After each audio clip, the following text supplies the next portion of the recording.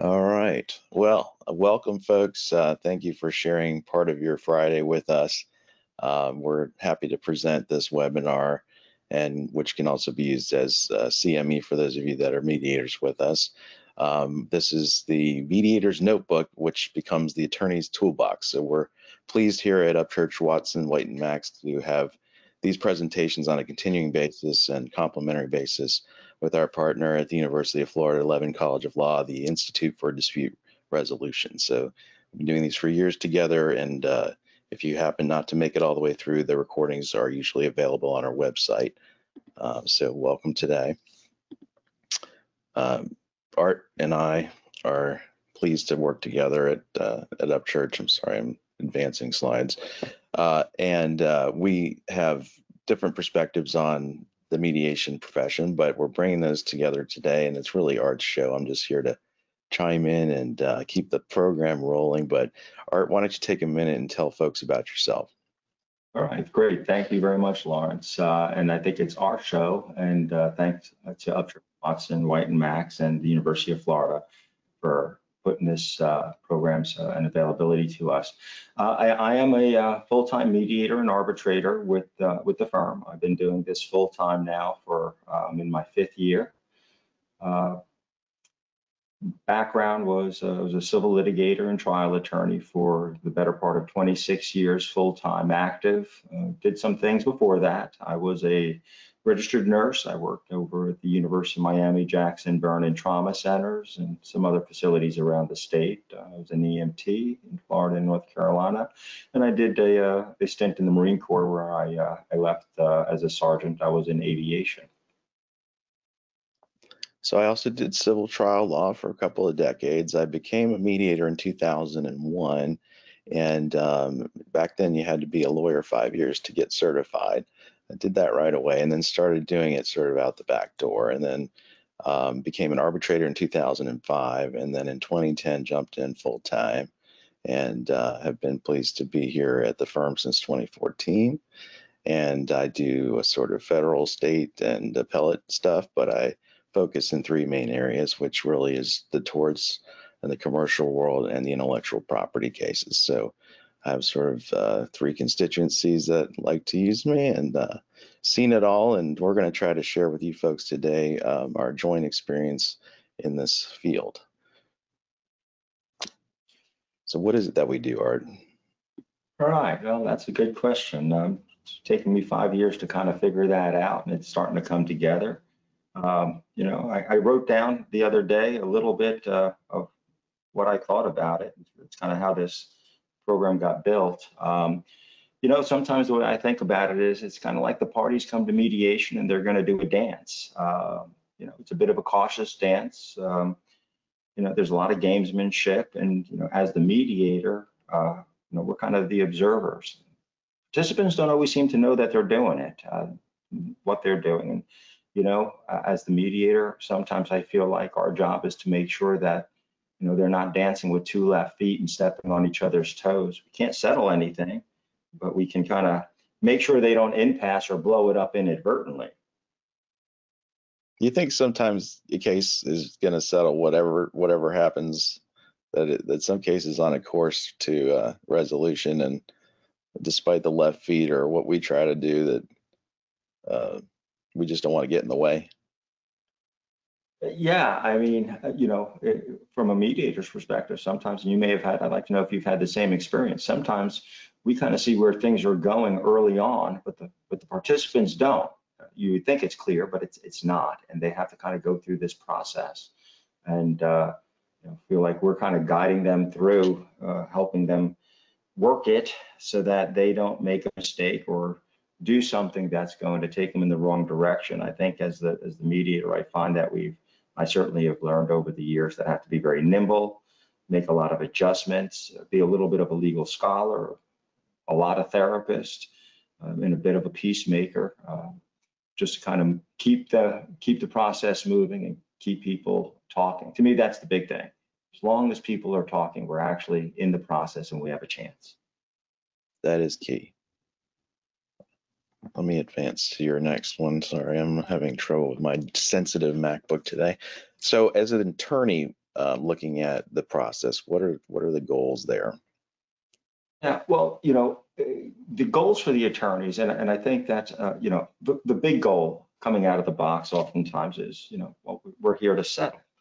Um, but it's not really always, I, from the mediator's perspective, I see it as, you know, the attorney thinks that may be the main goal, but it turns out it may not be the only goal, or it may not be the goal that's going to be there for the day. Sometimes uh, you get into the discussions and the process is moving along and you, you realize, you know, maybe we're not going to really get resolved, but you know, is today the day that we can lay the groundwork for some ongoing discussions through messaging? Um, you know, can we discover, you know, what will it take to to get the job done? Is there anything that's missing? Uh, can we assess and evaluate? And see, I, I go back to, uh, is it up there on number five, you know, be willing to reevaluate and adjust. I, I have up there, you know, like the nursing process. Well, that is my background. I was a registered nurse in, in burns and trauma. And, you know, the nursing process, as we're taught, is really something to be utilized in, in all walks of life. And I find it very helpful in mediation, which is you know, it's an assessment, it's a diagnosis, planning, implementation, and evaluation. So once I get a sense of the attorney's goals or help them figure out what their goals are, then we can we can go through that process. You know, assess where we're at. Uh, are we going to get there? What's the plan? How are you going to learn it?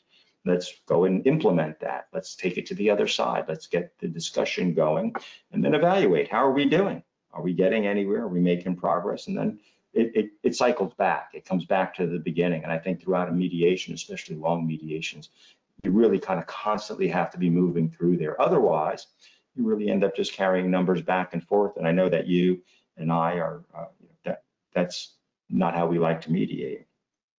No, and that's not how the attorneys like it either, right? So no. I guess in carrying those messages, um, are you prospectively um, dropping uh, hints of ranges?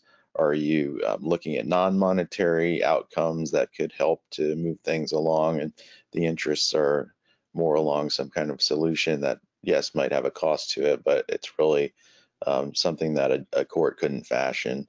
Um, what what types of, of messaging do you find yourself going in your day to day? Yeah, uh, you know, good question because you know, and every every mediator is different. Uh, you know, I've had a lot of conversations with mediators about do you uh, do you suggest numbers? Do you introduce the concept of brackets, or do you wait for them? And we'll talk in more detail about that in a little while.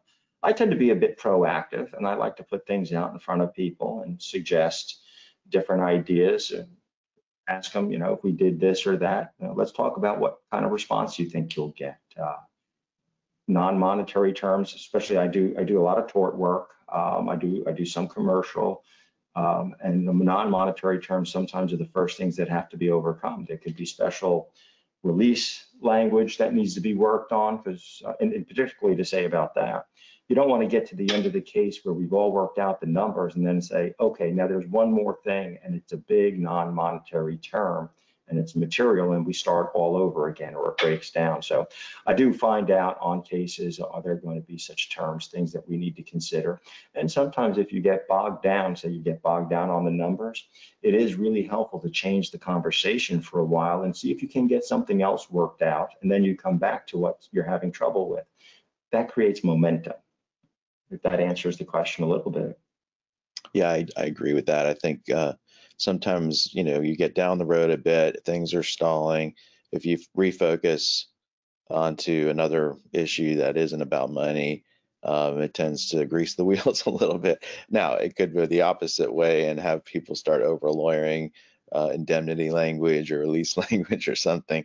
Um, but I, I, do find uh, with cases where that stuff is likely to come up, um, addressing it before the very end is probably the better policy.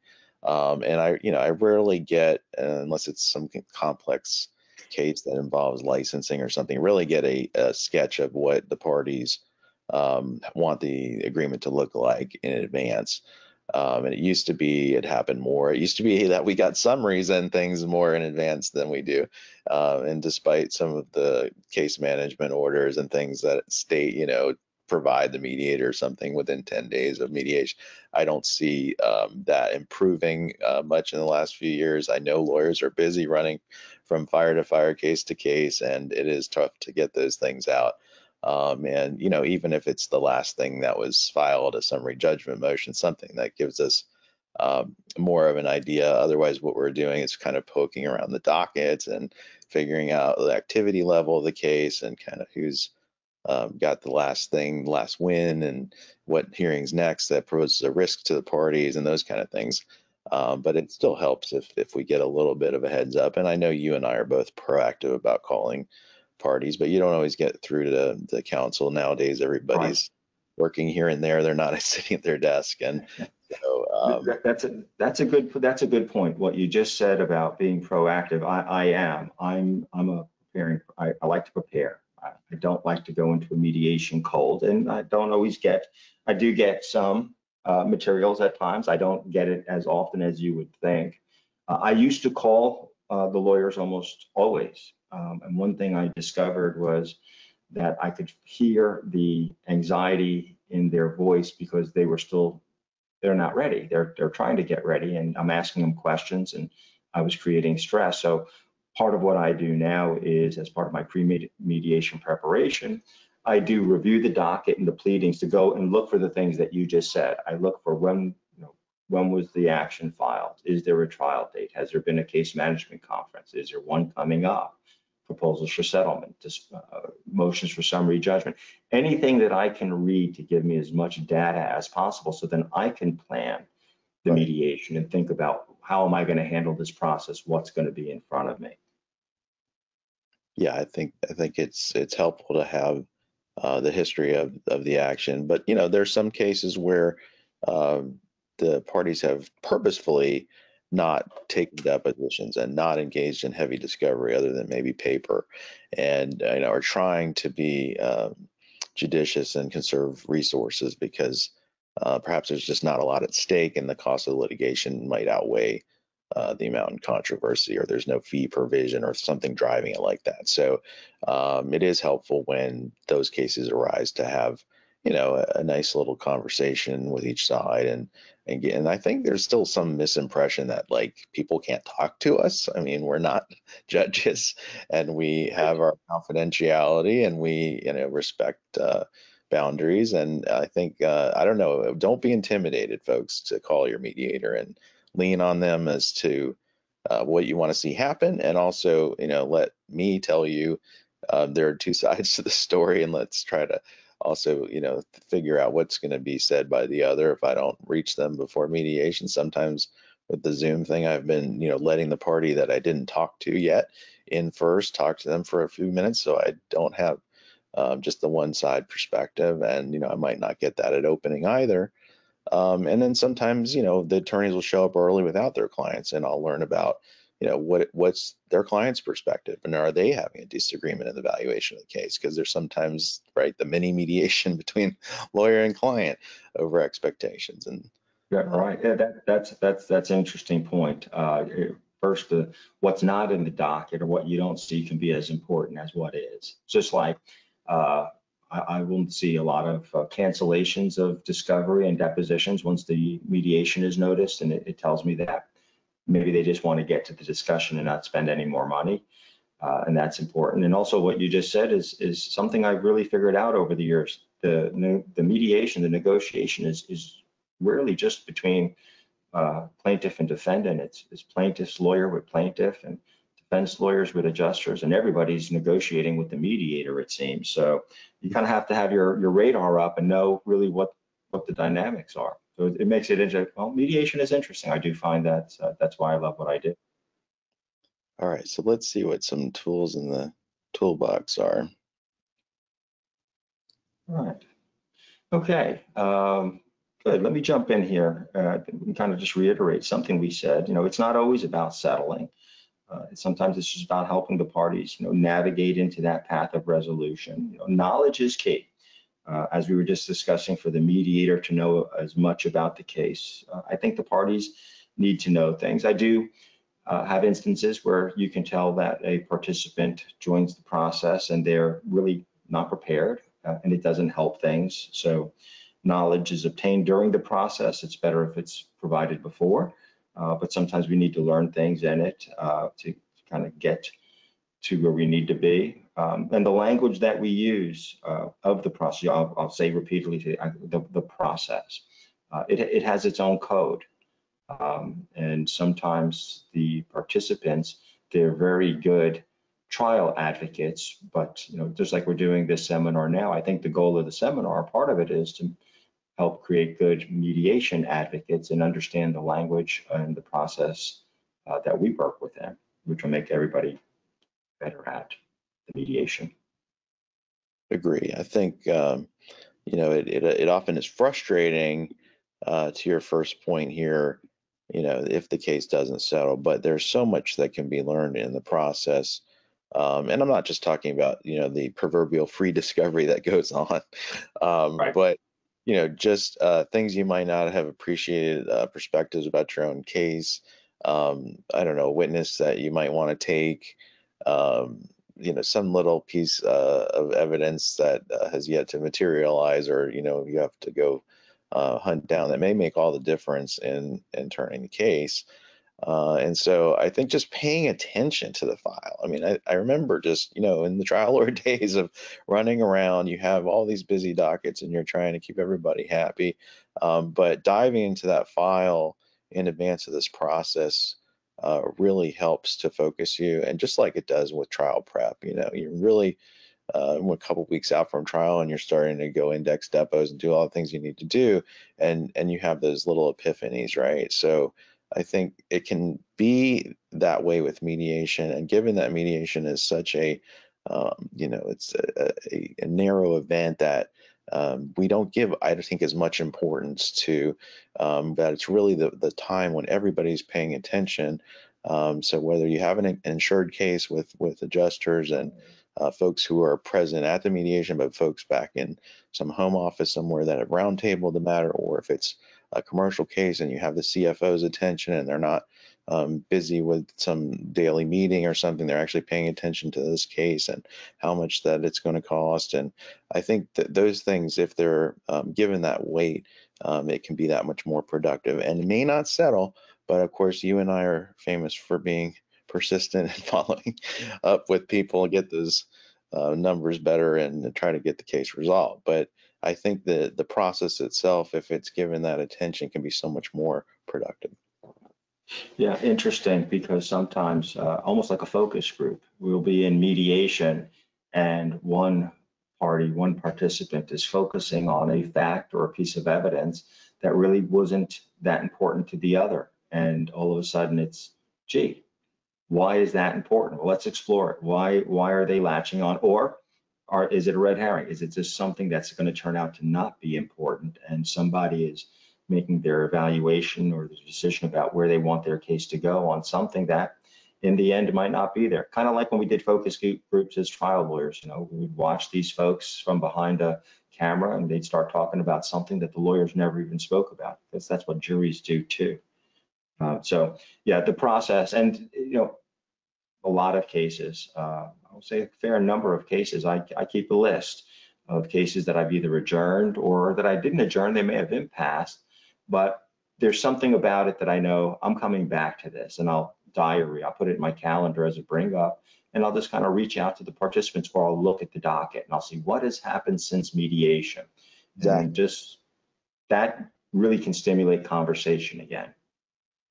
Yeah, and I, I was just re-engaged on a case from uh, November and uh, have my notes handy and you know uh, got right back on that train because yeah, it's just sometimes a, uh, a hearing needs to happen or a depo needs to get taken or um, you know somebody needs to feel another legal bill come in to get this thing back to the table. Uh, and yeah, we we know that we have that feel right for those cases that are likely to resolve at a later date. And that doesn't mean counsel can't do it. Just, you know, I always I always encourage, you know, I, I don't need to send you a bill. Pick up the phone with each other right. and talk. Um, or if you've been, you know, leaving a um, hearing and you're walking out, you know, have a conversation about the next thing. Do we really need to go and do all this expert discovery, or should we talk again? Um, and you know, I think the the civility rule, all these things that have, you know, come out recently, I think people are generally uh, getting along better. I think um, Zoom has led to some decorum because people uh, are watching together the same screen, and you know it's not you're not seeing as much of the drama that you would see at a, at a conference table at a deposition in person. That you know maybe someone threatens to call the judge or whatever, but when everybody's um, sitting in these forums um, as we've kind of been accustomed now for the past couple of years. I think the behavior is better. I do try to, you know, determine whether counsel are getting along at the outset. I have been getting a lot of requests for, um, you know, not having joint session, which is a big uh, decision. I think it's it's one where I at least like to have a perfunctory get together, lay down the ground rules for mediation.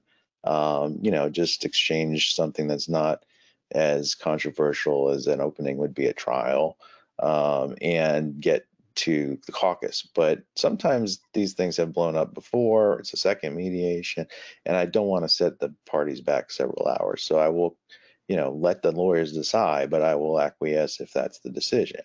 And it's becoming more and more popular on the West Coast not to even have the opening, the joint session. But uh, I still find it it works better to just get a look see at everybody that day. I, I haven't seen that yet in in my uh, Zoom sessions. I will say that the the level of civility and professionalism uh, is uh, well, it's always good, but I think it in it's not as effective to throw down your your legal pad or throw down your pen when you're on Zoom. It doesn't have the same impact, so it's not done. Uh, it, you know, I, it doesn't seem to work. Um, and as far as the joint sessions, I do uh, I have some some folks that that want to do just a very cursory. They'll say, well, everybody knows everything. We've done a lot of discovery, so I'm not going to get into a lot. Uh, but I always do my own opening. Uh, I feel that that is important for me to kind of lay out the process, how we're going to approach this. I want everybody to know who I am, what my role is, and how I think about the process. I have kind of a three-stage approach to it, where I focus on uh, the first goal is is the information, then we go over to the how much, and then ultimately the you know, their informed decision. And we'll talk about that some more. Yeah, so let's talk about the process at first from the uh, the plaintiff's perspective. I know you and I have done both sides of the V, but um, why don't you uh, give us your from your mediator's notebook how the how the plaintiff's perspective is? Oh, great. Um, and most of my work is is in the tort field, so I, I work with a lot of adjusters. Uh, a lot of it plays over into the commercial field also, where you'll have uh, plaintiffs or claimants and respondents in, in a commercial setting. Uh, but and I don't mean to say this in a in a derogatory way, but oftentimes I see you know the adjusters kind of like you know that that kid. And then let me give you the analogy that I use, and I do use it in in mediation a lot. I, I you know when I was raising my daughter when she got her driver's license, I could say you know here honey, here's ten dollars. Go to go to the store, get me milk, bread, and bring me back uh, change. And you know truth is she never brought back change. Um, and sometimes she, and sometimes she'd make a phone call and say, Dad, I need more money. And I go, I don't understand. I, I gave you enough to get the milk and the bread. And, and so, you know, you get a claims representative or you might get a defendant in a commercial area. They come in and there's a certain amount that they're willing to pay today. But if they can bring back some change, all the better. Now, from the plaintiff's perspective, you know, what's the goal? Can I figure out how much that is? If I figure out what they're willing to pay but don't want to pay, then what what do I need to do to help move that number into a place where you know the quintessential will they make the phone call? Can we turn this uh, get the defense or the adjuster or whoever's the decision maker on that side to, out of their comfort zone and and uh, of course get the plaintiff to come out out of their comfort zone to find that compromise to, to make it work. So th that's the perspectives that I see uh, coming in from the plaintiff uh, processes, what their kind of ultimate, their initial goals are at least. Yeah, I, I mean, I, I tend to um, agree that there's a uh, general emphasis on trying to save something off the authority.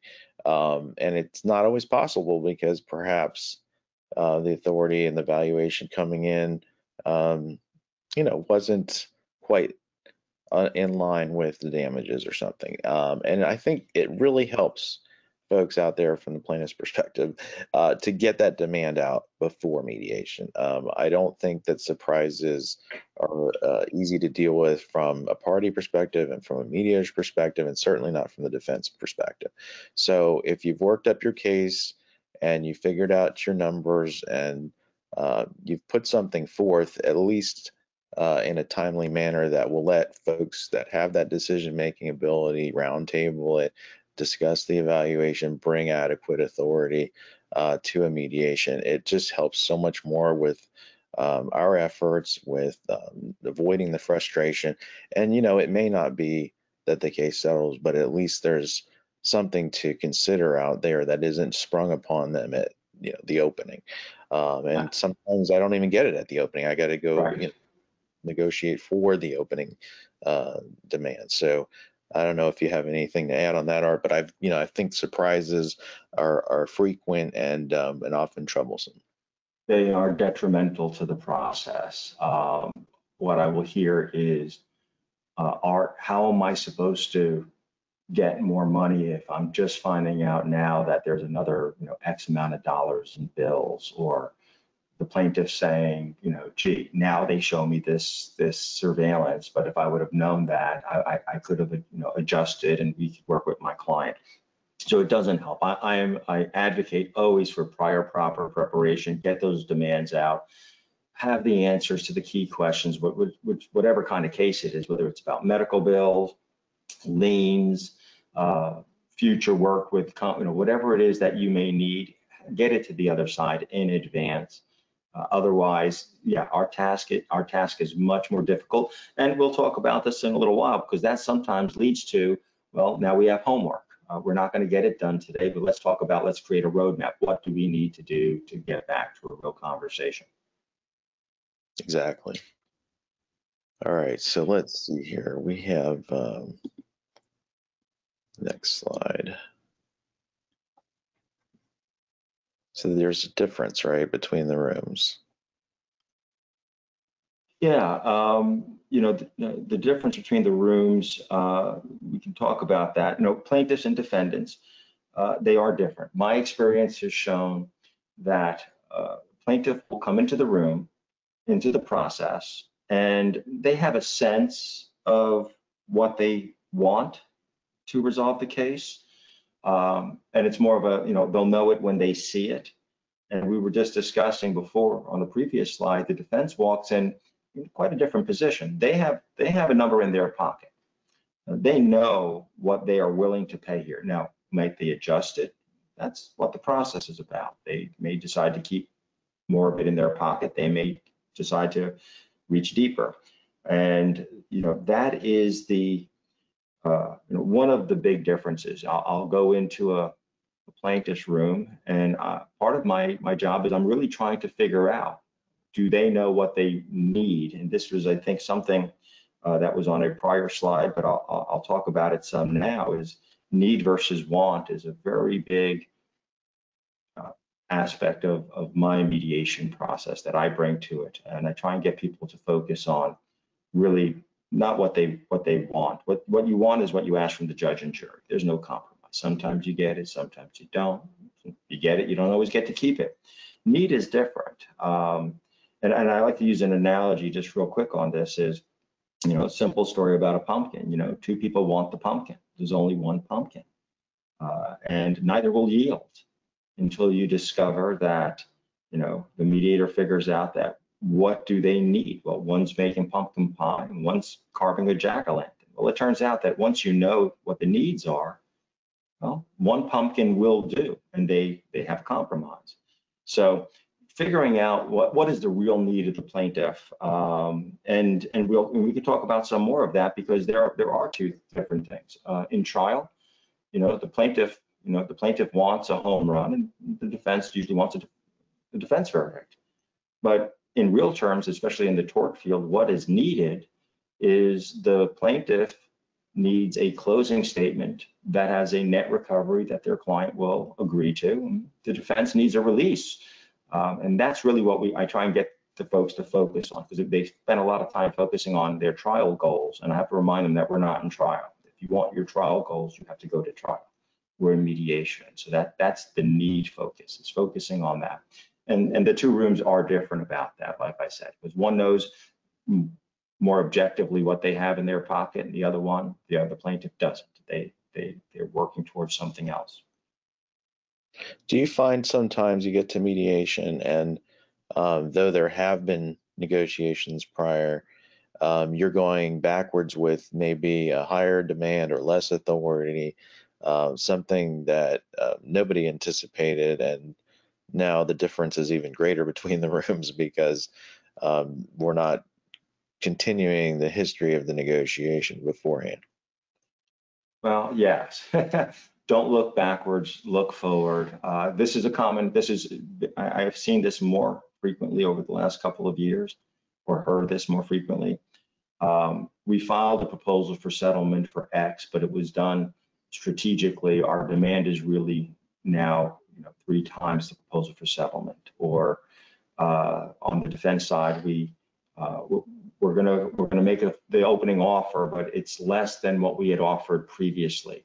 And then we have to get into number one in terms of process.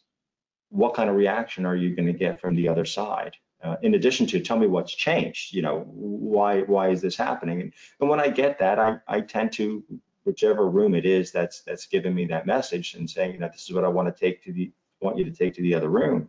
I'll ask them, I'll say, well, let, let me ask you the question. And I, you really don't need to answer, but think about it yourself. Do you think that's going to get you a response that's more favorable or less favorable? And think about that. And if you want me to step out of the room, I'll leave the room and then you call me back in when you speak to your client. Let's figure out, you know, that was something, you know, that goes to, to my concept of, you know, manipulation versus capitulation. A lot of times, uh, you know, you'll have counsel say, you know, use a plaintiff, for example, again, using the, the difference between the rooms, the plaintiff will say, well, if I, if I, if I keep on moving down, I'm just capitulating to the defense. And my response is usually, no, nobody likes to capitulate. That's a, that's a bad feeling. So why don't we just change the vernacular? Just change the change the word. Let's say what you really what your job is is to manipulate. You want to get the best possible response from the other room. So manipulation means control.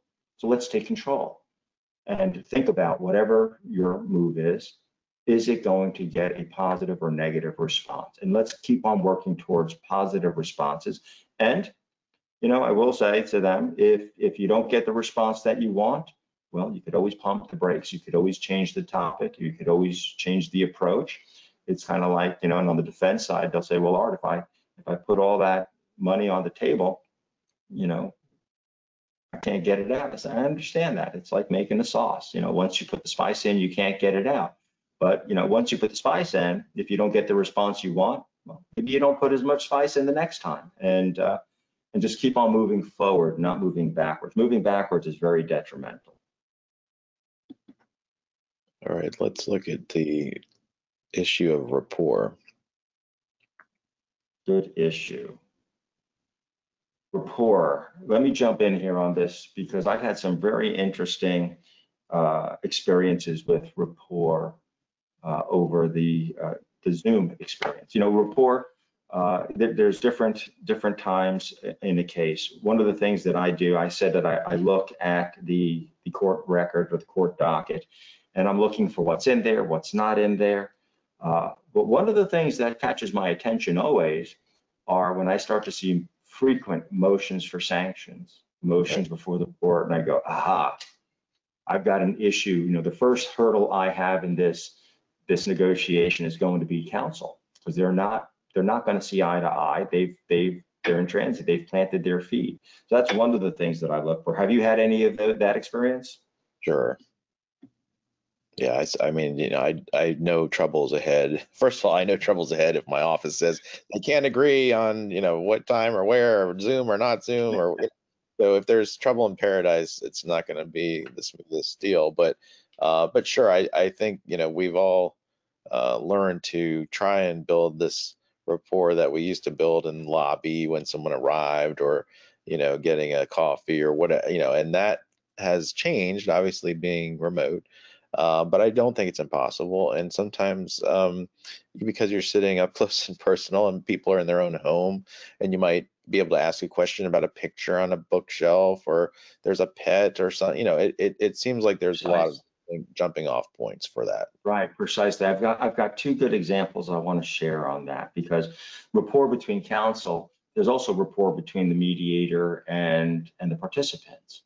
And you know, when I'm going from room to room, you know, there has to be a level of trust, and it doesn't happen right out of the box all the time. It may be someone I haven't worked with. If I have worked with somebody a lot, we have a different relationship. Uh, we, we already have some trust and rapport built up. But I did have an instance once where I was mediating. We went on for hours and hours, and the truth is, I, I really wasn't getting very far with the uh, the claims representative. And um, you know, when people come to our office, we learn nothing about them, and they actually don't learn very little about us because they see our offices. But in Zoom, I've discovered that a whole world opens up. So I was talking to him, and I was looking in his room, and I noticed that there was a guitar in the corner, and there was a concert poster on the wall.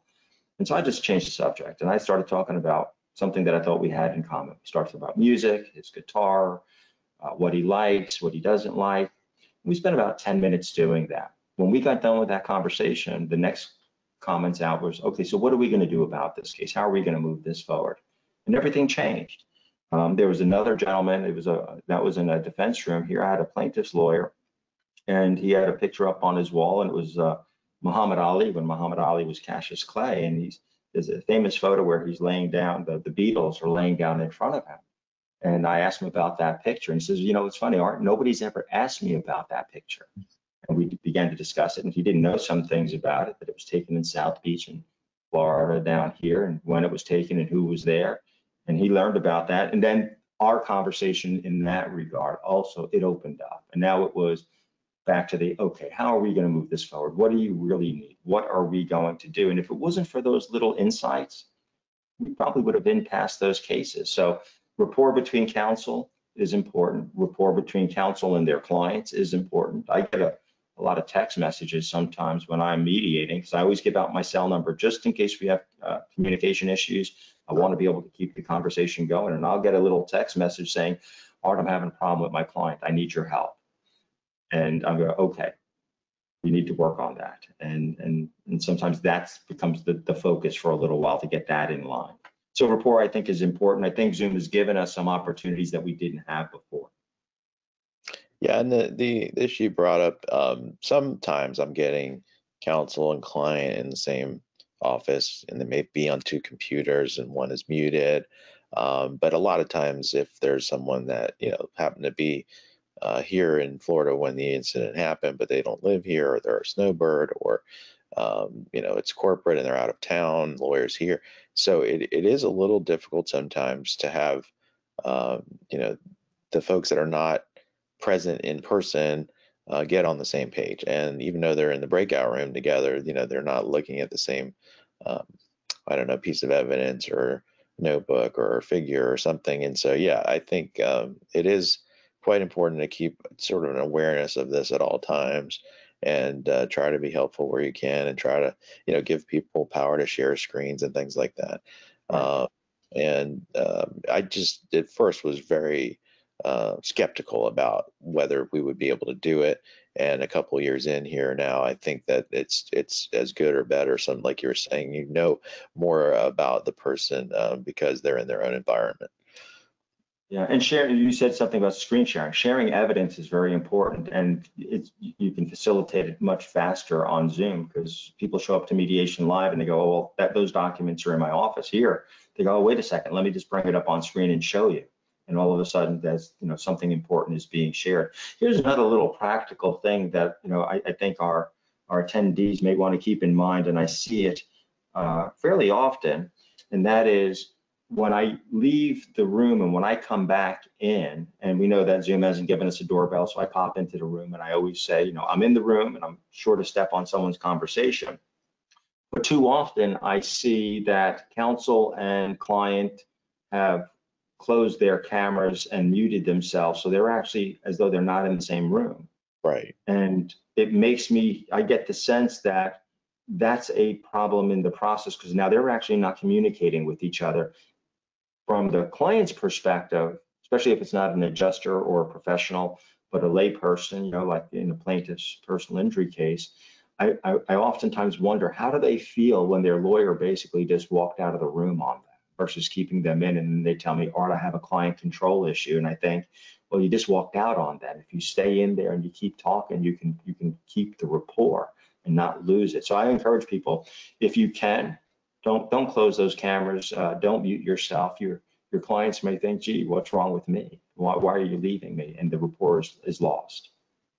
That's a good point. And I, I think we uh, at the ADR section of the Florida Bar even heard some anecdotal stuff a while back about people blacking out their cameras even in openings or um, just showing up in the phone. And you know, it's it if someone's there, they attended. But I really prefer it if at least at the outset we get to look at everybody, um, get a feel for that person, and then in the caucus, likewise, if we if we have uh, black screens and people are doing um, you know, multi- multitasking, doing other work, um, understanding that everybody's busy, but keeping the focus on the negotiation is really important. And you know, losing uh, any momentum that you know some intervening thing that we can't see is happening uh, is not helpful to the process. So um, you know, as, as a section, we decided we weren't going to go uh, try to require that, but we wanted to make people aware that it is is an unhelpful situation when uh, folks don't seem to be fully participating. All right, let's go to the next slide here. So perception, art, very important. Yeah, perception. Well, perception is reality. Um, and there's some technical areas here. I mean, you know, I oftentimes ask when I am, say, the defense room, uh, I'll say to the attorney, I said, well, you know, you, you took the plaintiff's uh, deposition. Yeah. Let's talk about that. How they do. Uh, and then, you know, give me give me your insights. And sometimes they'll say, well, look, I don't think they're going to present well. But other times I'll hear, you know what, Art, they did pretty nice. They did well. And I want the adjuster to hear that, you know, because it becomes an important part of the assessment. And I do remind folks all the time, as I did in my trial practice, that over the judge's bench all throughout the state of Florida, it says, we who labor here seek the truth. And, uh, you know, really it ought to say, we who labor here seek the perception of truth, because let's face it, it's either the jury or the judge's perception that becomes the truth of the case. And, you know, perception is reality. In my openings, I always, I have a couple of things that I do. Uh, one is I, I hold up a, a, bottle of water. It's not the same bottle of water. It doesn't turn on me. It's fresh, it keeps me hydrated, but I always hold up a bottle of water. It's, I always drink half of it in advance. And and I, and I say, you know, if I ask the advocates what they see, you know, one might tell me it's half full, one they say it's half empty. If I bring a third in, they may say it's full, half air and half water. They're all correct, and but they're all different. And I also hold up a piece of paper with a, a two gentlemen fighting over a number, and it's a six or a nine. Depends on which way you look at it. And you know, I, I make the point that there's going to be different perceptions of what you really, and I say to them, what you want to discuss with your attorney and your client when you're in caucus, and you're in private, you want to ask if the judge or jury gets to hear, if you don't settle this, if they get to hear how the other advocate presents their client's perception, how might that affect the decision maker's perception? Because that's going to ultimately affect their decision. And so perception to me becomes really one of the most important things that we do because we're not going to convince each room to suddenly say, oh, yes, you're right. But they can understand that the perceptions can really drive the decision maker's decision. And if that perception, you know, there's a big question mark.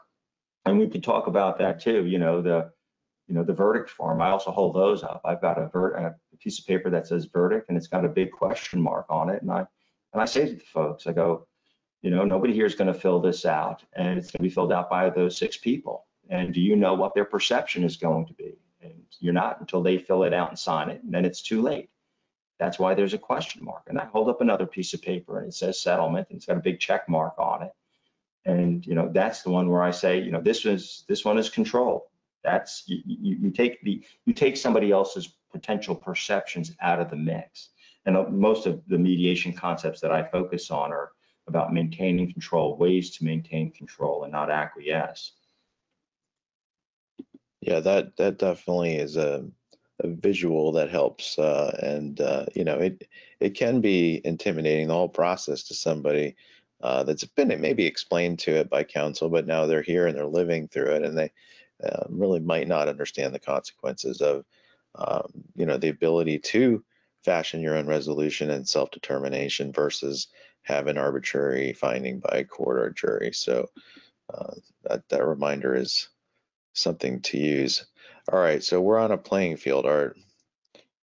Yeah, and you know, over time, I've I've come up with different thoughts and analogies uh, about these things, um, and you, you know, there's the playing field is is truly that are we are, we really having the, the important conversation? You know, is there tension between the parties? Are we getting close?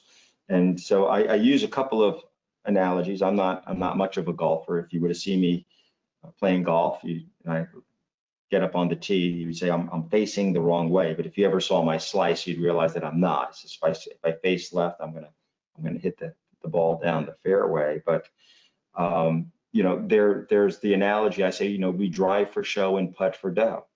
Uh, and, you know, what is the the meaning of that in, in the mediation conference? You know, the, the, initial moves, and I and I often say it's not important where we start. When people have a big, you know, they go first, do the who goes next, and I always say, well, it doesn't matter. Where we start is not nearly as important as where we end. And right now, each room is just kind of taking their shots across the bow, feeling out the other side, trying to get a sense for things.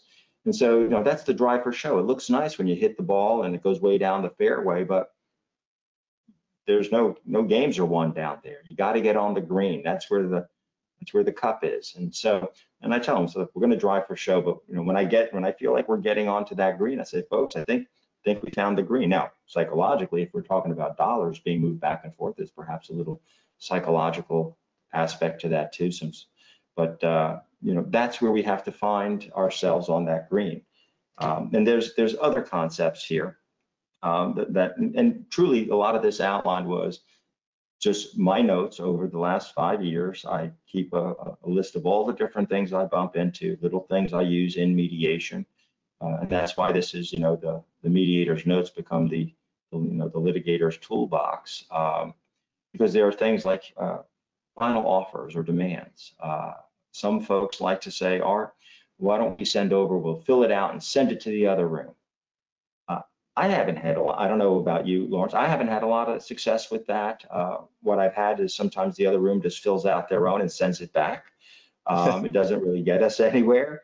Um, yeah. And so, uh, you know, it could be effective, but if it's going to be things like that, if you're if you're going to be effective, then you have to fill then you fill it out and you say but this is it this is final and now you're now you're looking at it it's final you better mean it you're gonna lose yeah you lose credibility sure yeah i mean we're getting close um, you know we're almost out or whatever those kind of things are are fine. I i do find um, you know and if it's even five more grand some people are not going to do it because they've already said it was the end.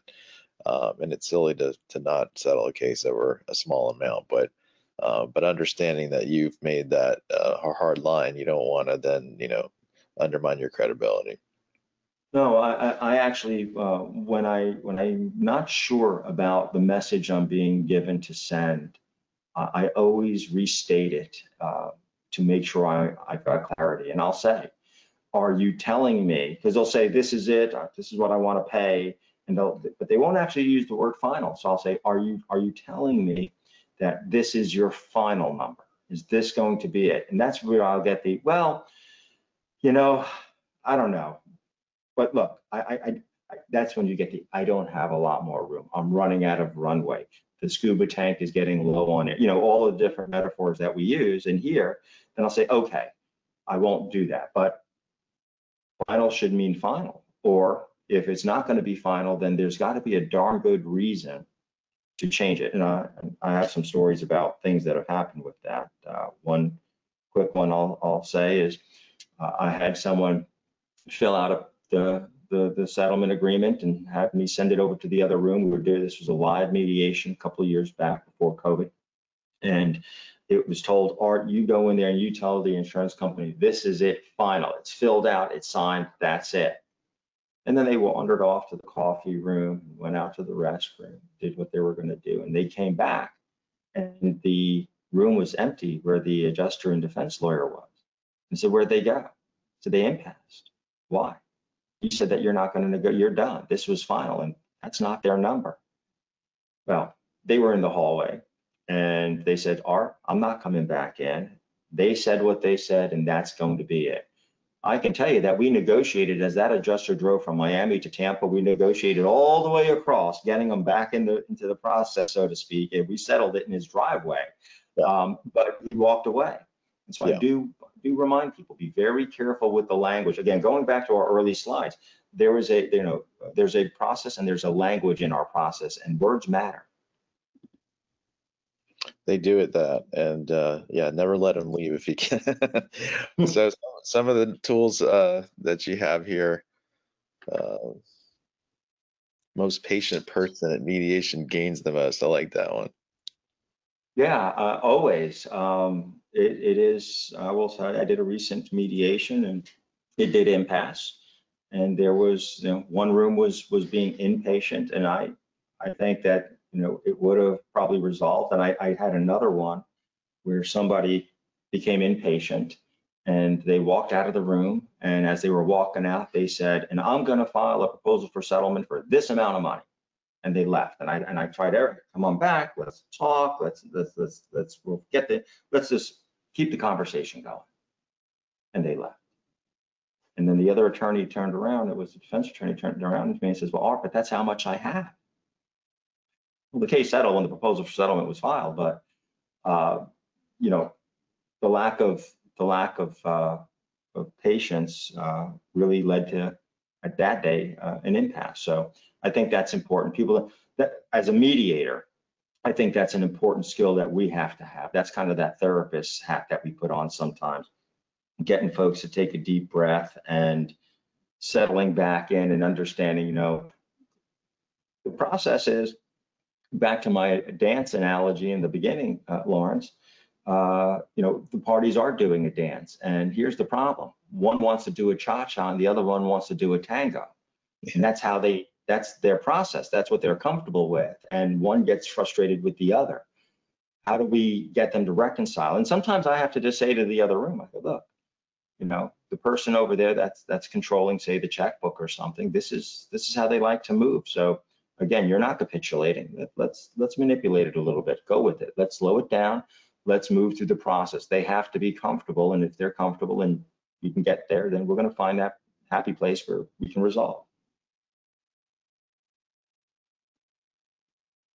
And I see you have another one about um, past moves and when people, you know, when you get frustrated and people start matching moves or moving incrementally, um, you know, what are your what are your tools that get past those kind of ruts? Well, match moves. Well, first thing I do is it, I get we get that a lot, right? I'll, I'll go up ten, I'll go down ten, um, and I'll I'll, I'll kind of let it go. And sometimes I'll say to one room or the other, I said, okay, uh, looks like we're falling into a pattern. All right, what do we do? I said, well, let's test it. Let's see if there's a pattern here. Make a move, see if they match. They matched. Knowledge becomes power, right? It's control. So I said, now if we know that they're going to do a match move, and I said, yeah, Art, but I can't match them to the middle. I said, all right, then we need to change the process. Let's change it up. Change your number, or maybe that's when I say, you want to try a bracket? Do you want to do something else and see if we can break the pattern? Or are we in fact learning something from the pattern?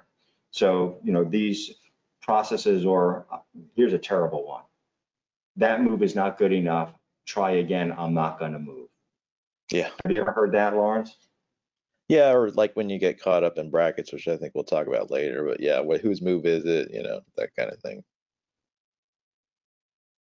Uh, let's see, I have another, I have something else up here about, uh, you know, the lawyer who represents themselves has a fool for, for a client. You know, and, and really, I, I- have that in here because, uh, you know, lawyers and advocates, they really do need to, you know, embrace their client's case and you live with a case for, you know, years. Uh, sometimes it's hard to, to see past those blinders and, uh, you know, the, the lawyers have to help their clients And I think the mediator has to help the, the advocates uh, see past those blinders because they do come in kind of revved up and they fully embrace and they're not able to see very clearly the other perspectives or the other possible perceptions. So focusing on pragmatism. All right. Here's some more. Yeah. Chase value. Go ahead. See at the bottom, midpoints, that's always one. But go ahead. Yeah, what about valuation of cases? Yeah, well, you know, valuation of cases, this is something I do talk about in, in my openings also. I, I say there's really two values to a case. You know, there's there's, you know, what what you'll get from a judge or jury. And I do focus them on that. You know, you might get it, you might not. If you get what you ask for, you might not keep it. Um, and then there's, you know, and that's the want, what you want. And then there's the need. Uh, and, you know, ultimately in mediation, a case is not worth, as it says, you know, a penny more than someone's willing to pay or a penny less than someone's willing to accept. And the question is, are we going to figure that out? Um, but, but, going back down to, as I think it is important as, as we're watching our time, brackets and midpoints. Uh, you were going to say something about midpoints. That, that, that, that is always a very interesting facet of the process that we engage in. So do you find an overemphasis on it? Do you find a calculation based on midpoints of midpoints? Do you find that um, even when you caution people not to look at them, um, you know, it's better to lean into them so that everybody knows exactly what's going on. What's your strategy with with when those become uh, sort of a prominent factor at a point in negotiation?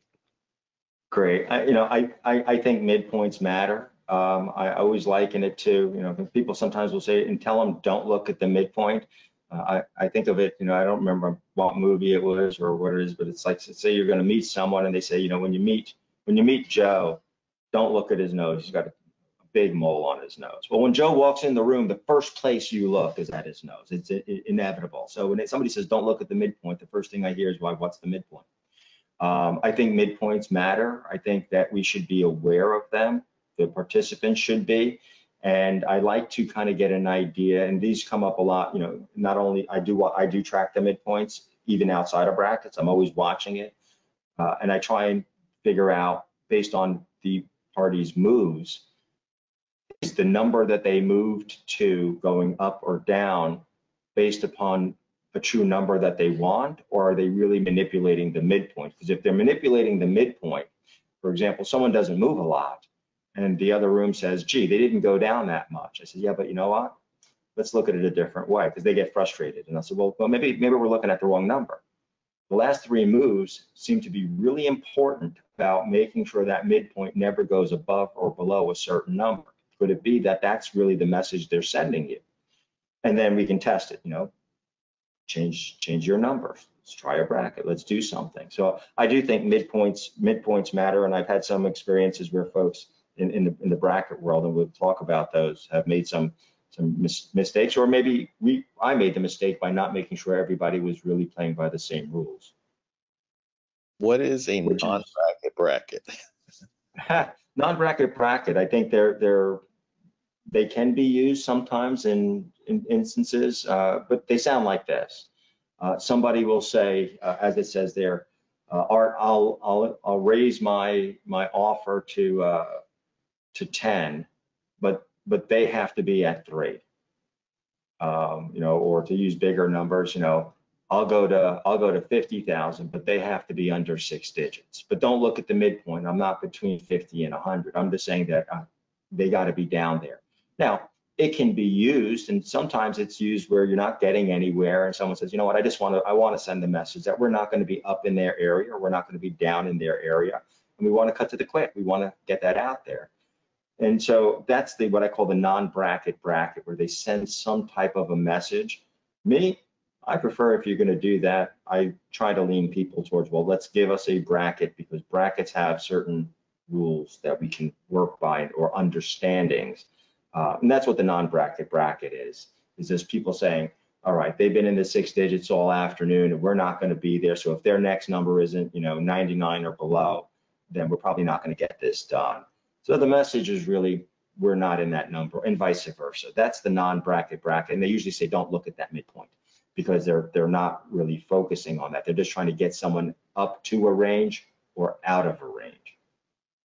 So we're talking bracketology and it's not March Madness. Um, the idea of uh, getting out of that, what I sometimes call bracket hell, where you've gotten a counter bracket and then there's another one, and then you kind of lost track of, you know, whose actual turn was it, and then everybody gets scared about going again because now they've had some idea of ranges. Um, how do you recenter the folks after something of that episode where a, a, no bracket has been accepted, but there have been a series of counter brackets?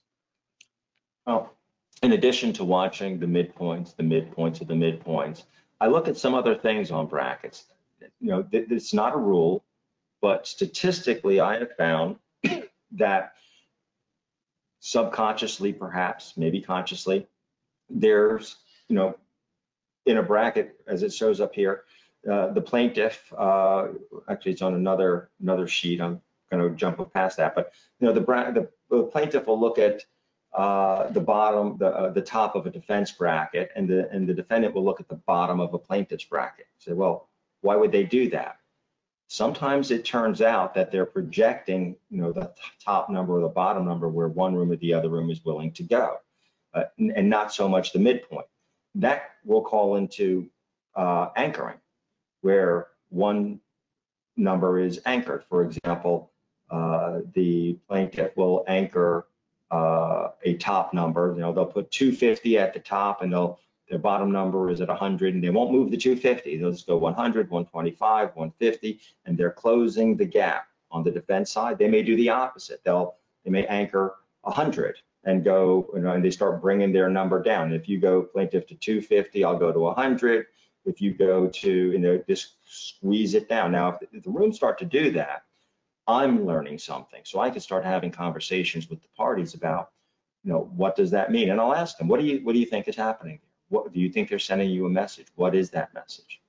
Um, looking at the screen, there's something else I wanted to jump into here, which is uh, you know plaintiff and defendants uh, in terms of their negotiations. Talking about numbers, sometimes they're not.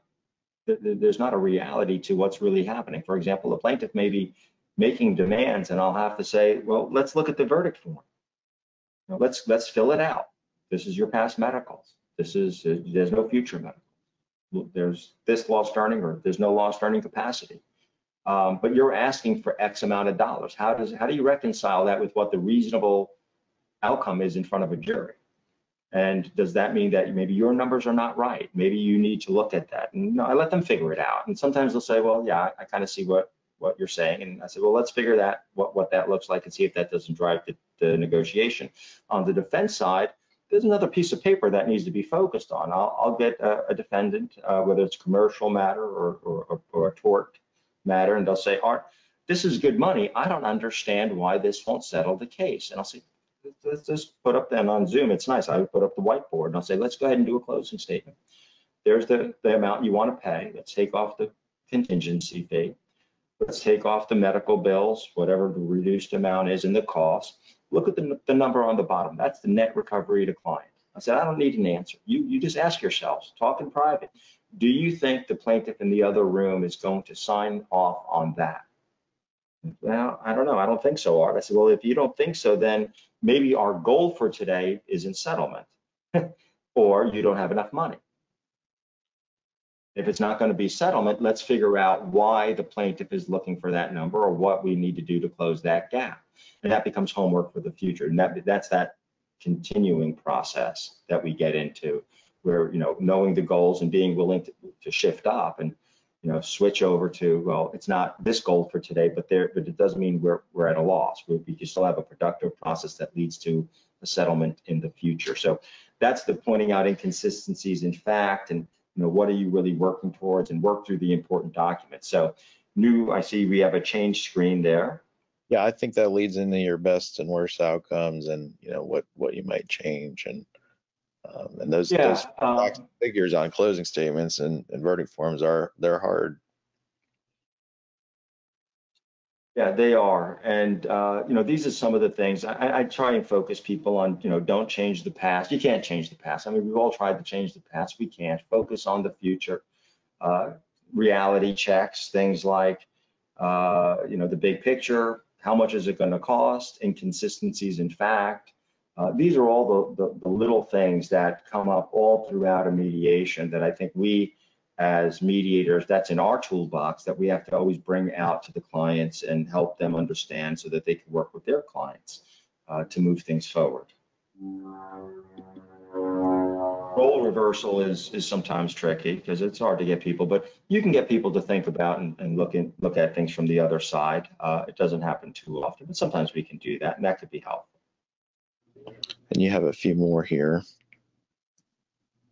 Um, yeah, well, here's, you know, skipping past past and future, which we've been talking about, steps and costs if no resolution. That's actually pretty powerful. I've used that a lot.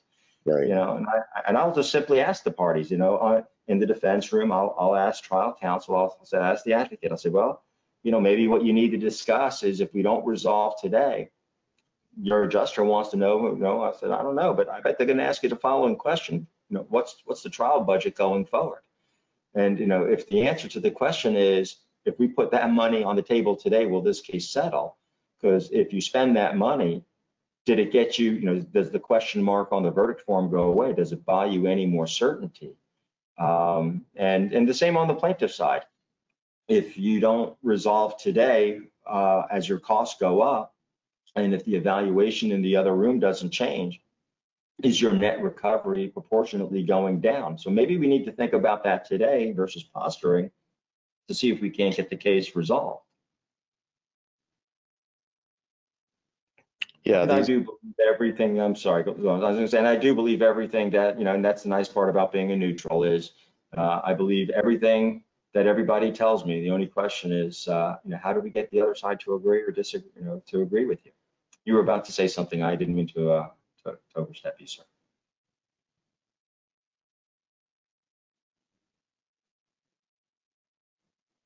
Yeah, Lawrence?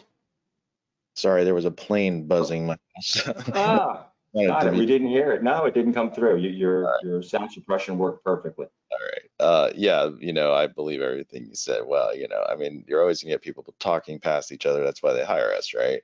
Um, but yeah, just to um, try and look at the process as it evolves over, you know, perhaps several hours and things that you learn, and and there's sometimes sometimes a perspective shift um, people are generally on you know a path um, and we kind of tweak that path as we go.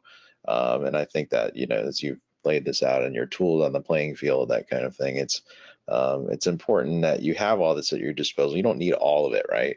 So you're kind of you know reaching for this at this time and helping the attorney at that time and trying to get somebody a uh, party interested in uh, the same idea as their attorney has suggested, and you know it's it's uh, as you said a complicated dance, but I think these are are very helpful. Art and uh, just to uh, let folks know, this will be available uh, when you get your email about having attended. Um, so don't worry if you're you know, not taking notes. We have this for you. Um, I'm going to go to the next slide. Sure.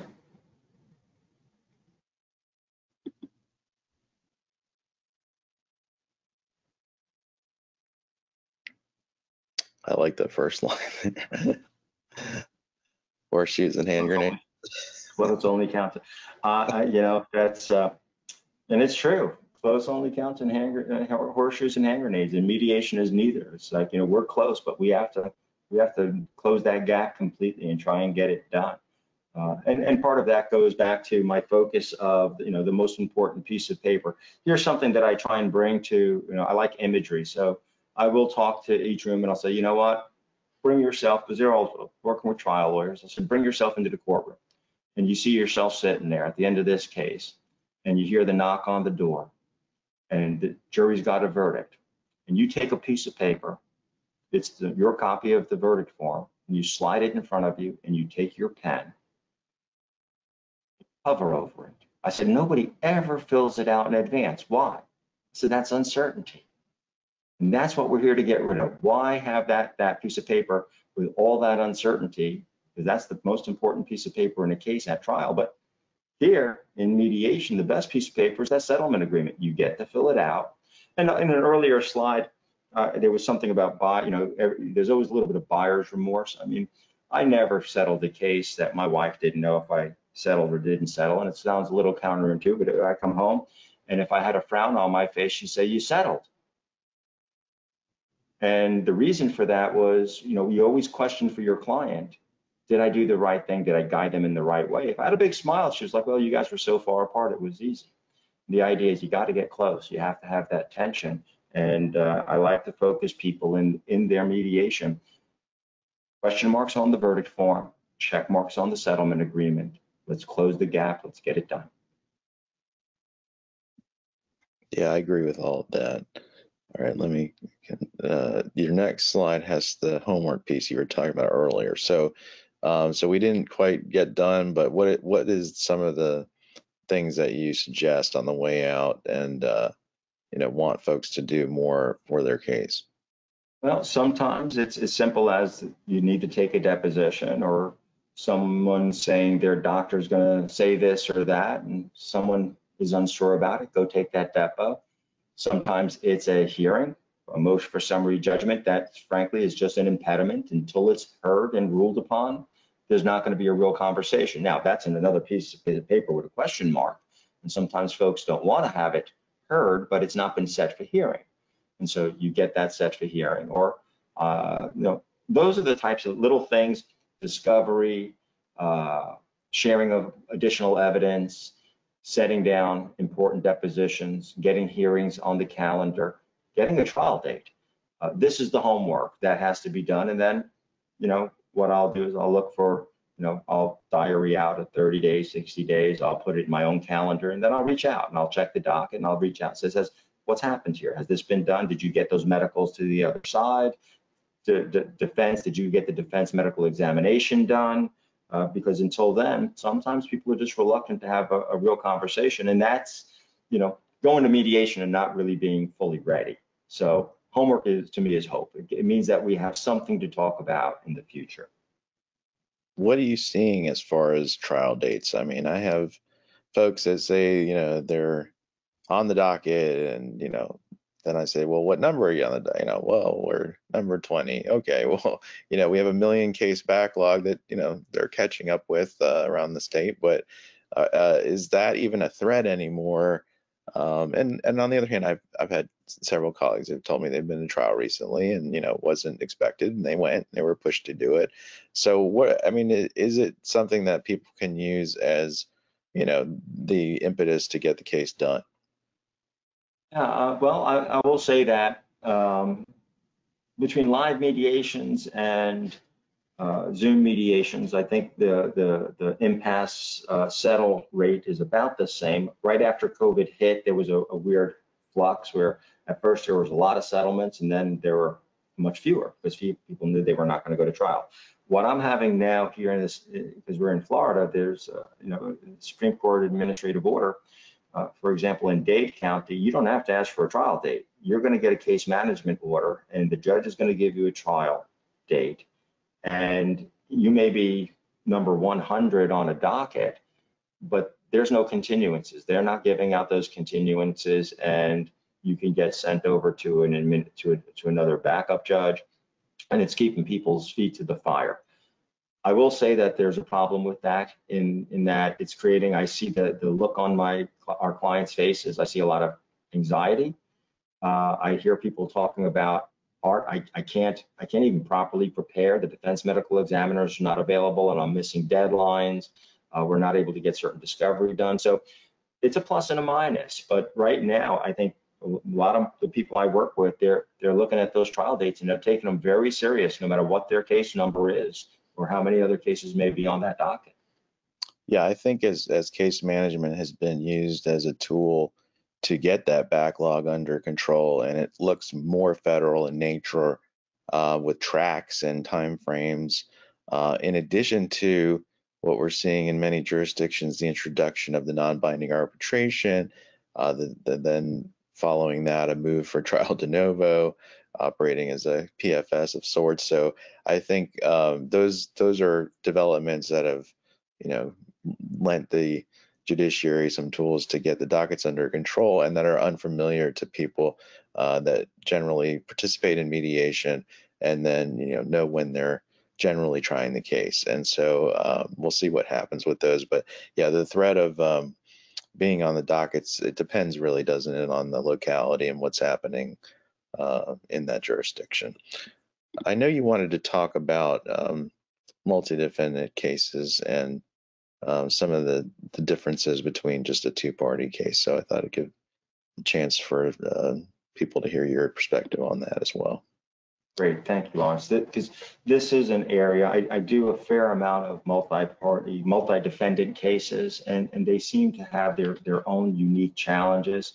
Uh, I'll, I'll tell you that one of the pitfalls is when the defendants have not really spoken with each other and you show up at mediation, you've got two or three different defendants sitting in different rooms, and we spend the first hours with the following conversation uh, I'm not going to pay more percentage than the other defendant. Um, I'm just the icing on the cake or the sprinkles on it. I'm not the main guy. Uh, and what happened, my response on some of those is, well, you want to pay only 25% of what? We don't even know what the numbers are going to be. How can we do that? So if you want to be more effective, and I encourage our participants here to think about it, if you're going to be involved and there's multiple defendants, Number one, it's helpful if we can have, even with the mediator, a pre-mediation mediation, get all the defendants, figure out, are we gonna be in one room or separate? What are the relationships? Is there contractual relationships? Does one have a duty to defend and indemnify over the other? Have they gone ahead and tendered the defense and was it refused? Do we have a defendant that's gonna say, well, the other defendant owes me $30,000 in fees already. So, you know, we want to make sure that we're going to get paid. Uh, all of these things is their common law, contractual indemnity, you know, very different. Um, and is there an ongoing business relationship? And this this is not just in, in the in the tort area. This will also be when you have in a commercial area where you've got either a two-party or a multi-party, multi-defendant uh, construction defect or something where you'll discover, well, after today, you're all still going to be working together how are we going to you know get through this process and save that relationship? So anytime we have multiple defendants i try as hard as i can in advance of mediation to learn as much as possible maybe talk to them maybe have a pre-mediation mediation. Because what happens is if you spend all that time bantering back and forth between the defendants you don't engage the plaintiff when you finally start bringing over the first dollars you've already lost the plaintiff and they're frustrated so when that has happened, I've said to the defendants, now that we either have one pool of money, because uh, you can't even do brackets if everybody's operating individually. Another thing that'll happen is they'll say to me, Art, I don't know, I don't want the other defendant to know what we're offering, but we also just want to make sure that the, all the defendants, it's a global offer. And you know, uh, my response is, well, you're going to get an answer or response from the plaintiff, but how do you know how to measure it if if neither room knows what we just sent to the plaintiff? So these are, you know, knowing how we're going to do this. Are they going to be global offers, individual offers, and the plaintiff? Need to know, will the plaintiff potentially settle with one defendant or the other? If there's one defendant that wants to settle, but they know that they're just going to get pulled right back in the case because there's a cross claim or they're going to be sued for indemnity, then they can't settle. So these are a lot of the moving parts and they can complicate things uh, on the multi-defendant cases. So I do encourage people think about it well in advance of mediation. Who are the players? If you're a plaintiff, uh, reach out to the mediator and, and, and, tell the mediator that you know there are these defendants. We've been going through discovery. They're definitely not in lockstep. Or if you're on the defense side, reach out to the mediator and say, you know, we we would do better to be uh, united than to be uh, divided and conquered. Uh, and so those are those are my little thoughts and tips as we come to the end of this on the multi-defendant cases. Uh, there's unique aspects in many different types of cases, but this is one that I see uh, gets turned sideways uh, too often when there hasn't been enough pre-planning. Yeah, I think it's important to get, um, you know, at least ranges uh, from lesser players to understand if there's cross claims, third party claims, and things of that nature, how they're going whether there's symbolic, whether there's coverage, whether there's uh, sometimes there's counsel for the carrier and there's personal counsel and all these things. So um, it's it's very um, important to kind of map it out. And then I like to just try and make sure those people aren't left hanging from the main defendant during the day because I might meet with everybody at the outset and then we start to caucus and then those people get frustrated because they haven't seen me in an hour or two. So I always between moves try to pop back in, um, just tell them it's moving, find out something if I can, you know, pose a question about something if it's a construction case, you know, tell me more about those windows or tell, tell me about that roof or, you know, something where I can um, inject a little bit of uh, participation and, and make sure they know that we're out there earning our money art. You're, that, that's a good point, and it is very easy to forget that that that party that's in that room, and then you're gone for too long. Um, that that is that is uh, a key key factor uh, in, in, keeping people uh, apprised and happy and part of the process. I also in Zoom I set up multiple rooms for that. Also, I have breakout yes. rooms. I always set up depending on how many parties. I always have an extra mediator room. Sometimes I have two or three of them so that I can move people around and we could have these, these little private conferences. Precisely. All right, folks, we're right at 220 and we want to make sure you make the most of your day. So we're giving you the CLE number from the Florida Bar 2201757N, 2201757N. And thank you for joining Art and myself in this conversation about our mediator toolbox that became the attorney's toolbox. So the basically uh, we'll have these um, from time to time. The next one's in May and it's on mass torts. So look out for announcements about that. And as I said, uh, always if you go to our Upchurch Watson website, there's a whole uh, battery of these uh, banked for you to uh, take advantage of for either CLE or CME as you self-report. And the uh, expiration dates are listed there as well. And um, I always blog on something called Orlando Mediator. So if y'all want to learn more about mediation arbitration, uh, this is my, I think, 12th year blogging on Orlando Mediator. So just Google it and you'll find it. And Art, thanks. That was really informative. Thank you, Lonzo. I enjoyed it. pleasure. Have a great weekend, everybody.